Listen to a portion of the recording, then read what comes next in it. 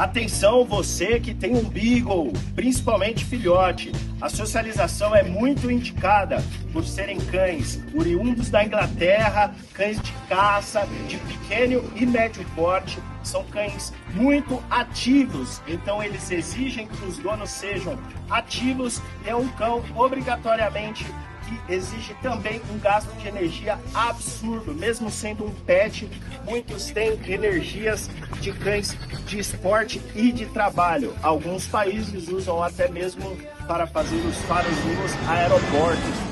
Então, para você que tem um Beagle, é um cão que vive muito tempo e precisa de muito gasto de energia. A socialização é muito indicada. Temos especializações na socialização de Beagles.